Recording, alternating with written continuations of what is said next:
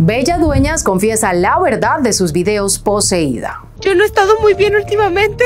Amigos, mi estado, no sé si es mi estado mental o algo me hizo esa cosa. Amigos, ojalá que nunca les pase esto.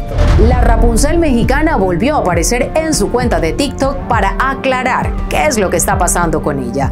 La verdad, mi contenido, según yo, era bueno, era de, de belleza y ya no me reconozco. Según Bella Dueñas, esta declaración la hace en el instante que recuperó la conciencia y es que además asegura estar desorientada y por eso cree que su estado de poseída empezó hace unos días, a lo que su hermano le aclaró que lleva varios meses así. Fui a una playa y una señora tocó mi cabeza y me dijo cosas medio raras. Estaba yo de viaje con mis amigas. No entiendo qué pasó. Al llegar a su casa notó que en sus en vivos ocurrían cosas extrañas y contrario de lo que todos piensan, sí intentó buscar ayuda, pero a la final la protección que le pusieron en un collar que tenía se le terminó perdiendo.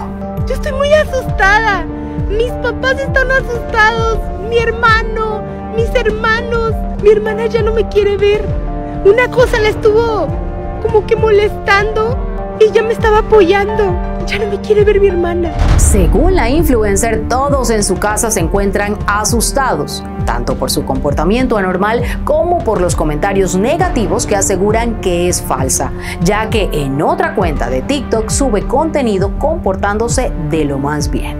Él tiene el control de mi cuenta, una cuenta que se llama Bella Duenas Place. Son videos antiguos, amigos. Esos videos los grabamos hace como un año, un año y medio y tú subes los videos, ¿verdad, Peter? Sí. Y hay gente diciendo que soy yo, amigos.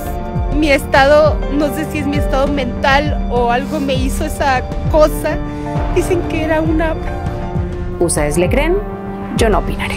La chica también utilizó el video y el no estar poseída para pedir a gritos a la persona que le está haciendo tal hechizo que por favor la desate de esta, ya que no entiende qué gana ella con hacerle eso a una chica buena, pues no la ha visto nunca en su vida. No entiendo, no entiendo qué ganas. ¿Qué ganas con eso? ¡Dímelo! ¡Muestra tu cara! ¡Dilo! ¡Di la verdad! ¡Di que tú estás ocasionando todo esto! Por último, Bella aseguró que todo lo que está pasando es real y por eso agradece a los seguidores que se están preocupando por su salud mental y aunque en su estado de conciencia encontró que muchos haters la tachan de rara y mentirosa, lo único que quiere es recuperar su vida ya que claramente siente que ni ella misma se conoce. Si me he comportado de forma extraña, les pido una disculpa bien grande. La verdad mi contenido, según yo, era bueno, era de, de belleza y ya no me reconozco.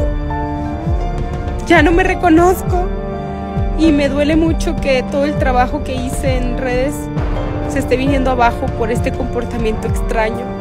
En los comentarios de este video, muchos haters aseguran que todo es un show para seguir ganando viralidad y tendencia, mientras existen otros que sí la defendieron y terminaron creyendo que en realidad es un espíritu del mal quien la tiene poseída.